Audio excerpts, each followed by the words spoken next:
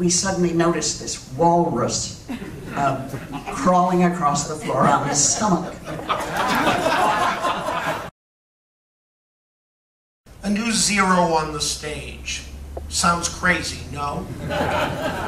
But in our little village of Barnes and Noble, we will meet people connected who knew Zero Mostel, who worked with him. Which of us can really say we have achieved as much as this woman has? Because she was actually on Richard M. Nixon's enemies list. Miss Lynn Lane. What do you remember about him and his wife, Kate?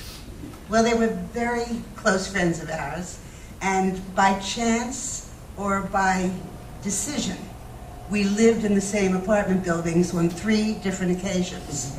We moved, and then they would like that building, and then they would move, and then we would move, and it went that way. They were keeping um, up with the Lanes. They were an incredible couple.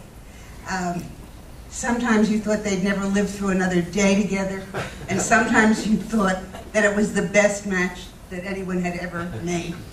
One night in one of these apartment buildings on Central Park West, a summer evening, Burt and I were just coming home.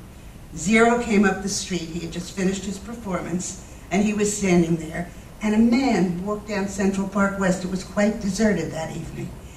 And he was staring at Zero, just staring at him. Wasn't sure who he was, but he couldn't take his eyes off him. Zero realized this. And as this man came closer, he rose up and he became the rhinoceros. and the poor man ran screaming down the street. He was scared to death.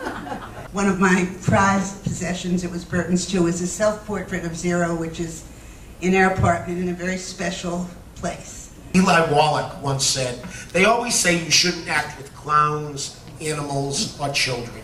And when I did Rhinoceros, I felt when Zero was on stage, I was acting with a clown, an animal, and a child. So, Frances Sternhagen, did you find Zero on stage to be challenging, difficult, what? Challenging, Uh-huh. but fun. He, he, there was, well, this was Ulysses in Nighttown, the first perform, er, first production, when he had just, this was his first uh, reappearance, and Burgess Meredith directed it, and I went in uh, in place of Anne Meara, who uh, got another job, which lasted about maybe a week, but she didn't come back, and I played uh, the nymph and about know four or five other parts in that production.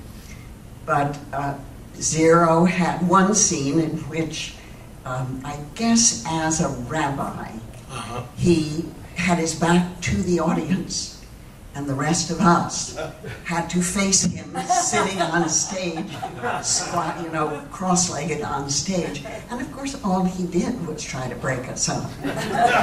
And so our effort was trying not to break up. My husband was in a play uptown. This was down at the Rooftop Theater on Houston Street, I think, at the time, at about Second Avenue. And we went to a restaurant occasionally called Pilatos and sawdust on the floor and the red, white check tablecloths. And we were sitting at our table and we suddenly noticed this walrus crawling across the floor on his stomach. Through the sawdust, came to the table and sort of latched on to Tom and said, My name is Zero. Who are you? And Tom said, I'm Tom Carlin. Good. And he went back to his Uh, you reappearance. You're, of course, referring to the blacklist, and you knew him during that period of time, Lynn, when, Yes. when, uh, when, uh, do you recall any of his frustrations of being involved with the blacklist? Well, he was simply furious at the entire idea of the blacklist, as um, most people I knew were. Uh, he never got over his feelings about people who had named names, and that included Jerry Robbins, with whom he was later to work in Fiddler on the Roof.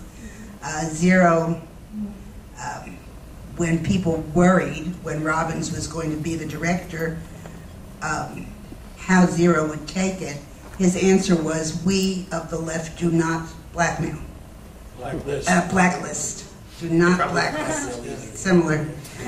We of the left do not blacklist. So he he respected Robbins' talent very much, but he despised the fact that he had named the names of his associates to the committee and caused many of them to lose their jobs. And in one case, Philip Loeb, who was a particularly close friend of the Mostels, um, he ended up committing suicide out of desperation, having lost a way to make a living and been been blacklisted from uh, any kind of actor's employment. So yes, he cared about it a lot. Zero was always just lovely to me. And I was pregnant with my third, wearing this pink leotard. And how I got through all this. I got through it with Pauline Flanagan, who played Molly Bloom, would stand at the side of the stage with me. We, she, I guess, had come off, and then I was going to go on. And Pauline would always say, "Oh, darling, oh, Dr. Theater will take care of you." Sternhagen wearing a leotard while pregnant, you were just ahead of your time. That's what happens all the time now.